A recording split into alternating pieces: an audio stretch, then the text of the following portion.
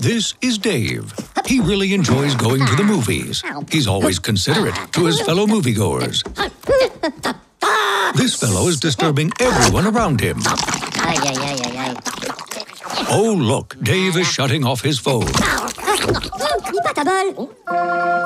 uh, uh. Now is not the time for talking or texting. Oh, well, now look at that. There's a true movie watching friend. Let's all be more like Dave.